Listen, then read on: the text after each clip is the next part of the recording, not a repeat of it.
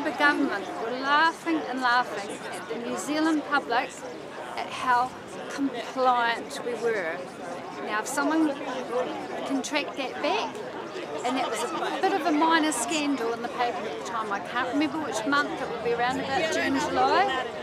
And they were laughing how we just did everything. And as I've said to people, if we were told to walk on our hands down the main, you know, do a handstand down the main street, the whole population would do it. Jacinda just last week said that you've got permission to use the toilet, you know, uh, with a big smirk on her face, you know. Yeah, it's a bit condescending, honestly. You know, what, what, what really disturbed me was a couple of days ago when she done the job on uh, Tinder. They had Tinder under tricolor passport, uh, tricolor traffic light system, whatever they call it. Uh, then people are allowed to uh, date and do Tinder saying up to 25 and she made a joke about that, she was laughing and cracking. And I'm sorry Jacinda, I'm not in the mood for job. This country has been taken over by communism. I, I wish I could laugh to your job, but this is our family going down the moment. This is our solo income being taken away from us because of freedom of choice hasn't been respected. I'm sorry Jacinda, but I don't want to laugh right now. I'm not up for a job. I'm glad you are. I'm glad Christmas is going to be good for you. Christmas Eve day, 24th December, lunchtime, we could go into a level four. Jacinda, God bless her, and I, I actually genuinely mean that. I forgive her and I bless her. I don't hate her, I pray for her. So this is how we live. This is how we live. The last time we went in Tuesday this year, uh, it was around about 6 p.m. or 4 p.m. on a Tuesday. And by midnight we were in a level 4 whole country and as far as I know, case. one case from Australia. And countries around the world, media were mocking uh, the Labour government and Jacinda's choice for the previous level 4. I mean, it was a great joke, and it was a great joke, but it wasn't funny. I think It's destruction on people's lives. I think that's part of the, the freedom of choice as well. I think if you want to stay at home and isolate yourself, um, because you're worried about this, I, I think that you should obviously have the choice of that, but I don't think that should restrict whether other people can go out and, and live their lives. I'd like to say the real virus is fear. Fear.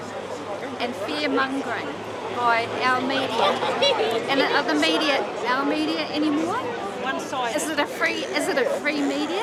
If it wasn't for the media, would we know there's even a virus around? I you know. We're never allowed to forget it. There's ads everywhere, letterbox, phone calls, texts. It's always across the TV. Yeah, it has been a couple of years of massive propaganda in this country. Uh, propaganda, and um, many people fell for it, unfortunately. Uh, we, we don't know the consequence of that just yet, but I believe next year we're going to start seeing the consequence of this propaganda. And it's going to affect many, many families, many individuals of New Zealand. Um, it's, it's a reason that the commercial agreement haven't been um, officially uh, public. Some, some government around the, around the world succeed to get bit and pieces of a commercial agreement, and most of the page has been blacked out. Why blacking out a commercial agreement for a product and we coercing into our world population? Why do we got to hide? Who's, who's finding um, the answer to all those questions? Is there any independent journalist out there, maybe yourself, who going out there and try to find the answer, the real answer, or the truth? Um, something important happening in Nuremberg a couple of weeks ago. I'm not sure the main media re- presented it here. Um, a lawyer, German number one lawyer, uh, Reiner Fuellmich, uh, associate for the last year, year and a half with um, thousands of lawyers, tens of thousands of scientists, and uh, they've been asking those questions, those hardball questions, and they've been finding the answer and listening to a lot of people. They've been gathering a lot of information.